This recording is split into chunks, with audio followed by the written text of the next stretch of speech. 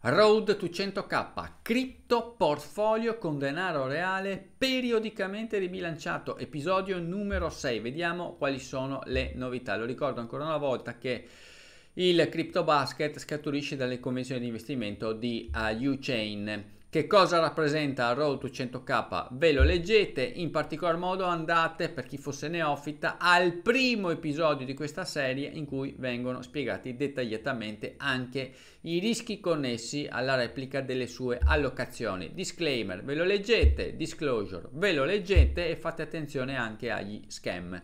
Vediamo quali sono le le eh, modifiche apportate al basket. Siamo entrati in modalità risk off, pertanto si abbassa profondamente la disponibilità ad accettare il rischio di mercato sono state smobilizzate più che altro per aumentare il cash operativo all'interno ovviamente del portafoglio Polygon quasi a prezzo di carico e Band a Protocol realizzando una modesta minusvalenza. La debolezza di mercato che sta caratterizzando questi ultimi giorni potrebbe causare possibili test a Bitcoin con nuovi minimi relativi. In tal senso potremmo tranquillamente andare sui 10.000 dollari. Per quale motivo? Perché il market profile sotto determinati livelli di prezzo è a ridicolo, sostanzialmente non risultano esserci grandi quantitativi di acquisto. Sappiamo che ci sono su determinati livelli, ma rotti questi ultimi si scende a piombo ed è per questo motivo che molti commentatori stanno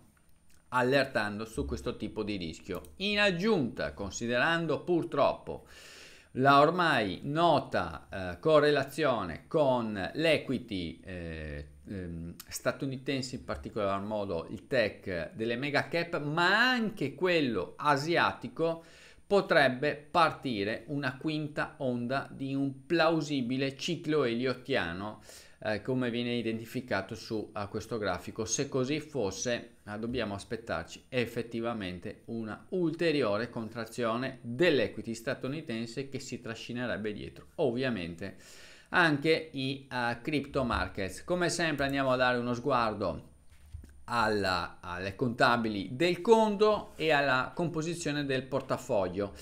Qui sono riepilogati i eh, trade che sono stati effettuati, come potete vedere, nella giornata di lunedì, grosso modo verso a mezzogiorno. Per chi eh, se lo stesse chiedendo, le comunicazioni riguardanti l'update, dell'update di portafoglio sono stati dati all'interno della AMA dello stesso lunedì alle 3 di pomeriggio, quindi un time to market decisamente sensitive. State sempre allerta o su Twitter o eventualmente Uh, su YouTube perché gli, uh, gli, update sul portafoglio vengono effettuati con poche ore di, eh, poche ore di disamina. Ad ogni modo il, la logica che sovraintende Road 100k è per chi non l'avesse ancora capito quello di andare a effettuare un cash out tra meno di tre anni, quindi costruirlo lentamente anche la curva dell'equity e eh, comprimere il più possibile la volatilità nel suo uh, complesso. Ci troviamo uh, con 5 asset che come potete vedere tutto sommato sono in peso strategico modeste. La convinzione da parte eh, mia è quella di andare a sovrappesare Solana qualora si verificherà questo, uh, questa eh, ipotetico nuova capitolazione e potrebbe essere in concomitanza al merge, cioè il merge eh, di Ethereum anche se andrà bene potrà in realtà scatenare un trigger event sui crypto markets. Se invece and- dovesse andare male per bug o glitch potete immaginare eh, le, le, le conseguenze sui uh, mercati in termini di volatilità. Ormai la liquidità uh, operativa è quasi al 65%, al, um, 67, vedete, oltre i due terzi, eh, Avalanche che era uno dei principali, eh, chiamiamoli così, motori di performance per ora, ha ridotto significativamente propria, il proprio contributo, questo in relazione alle vicende che hanno caratterizzato uh,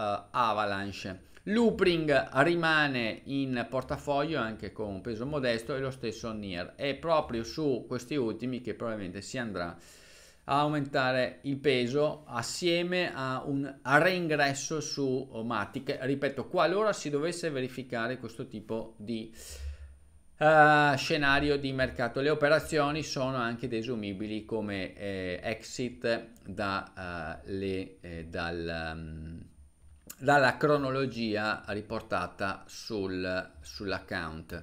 Terminiamo come sempre facendo questo tipo di considerazioni, quelli che sono uh, i prossimi eh, all'ingresso nel crypto market, come potete vedere rispetto al passato, alle precedenti episodi, si sono contratti.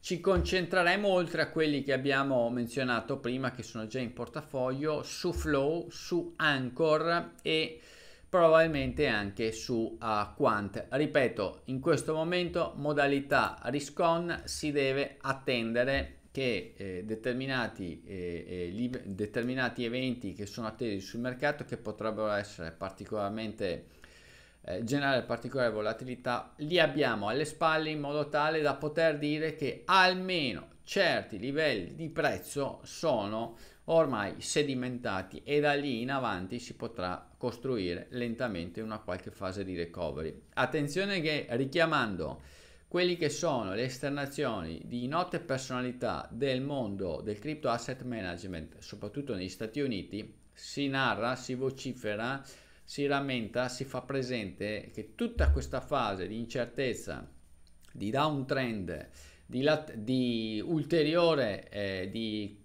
capitolazioni con tentativi eh, di rebound potrebbe andare avanti addirittura fino alla fine del primo semestre del 2023 significa mettere in cantiere 7 8 9 mesi in cui il mercato produrrà ancora tanta spiacevolezza. E per questo che non ha significato ehm, non ha significato rimanere investiti in misura rilevante ma mantenere il più possibile quella disponibilità di cash operativo che servirà poi a essere iniettata quando ci saranno quelle convinzioni che presumibilmente levati i grandi rischi sistemici dovrebbero dare soddisfazione al cripto portfolio. Mi raccomando fate attenzione a tutti gli scam e soprattutto qualora abbiate delle perplessità sui rischi nell'andare a replicare queste operazioni, rileggetevi il disclaimer e disclosure all'interno dell'episodio numero 1.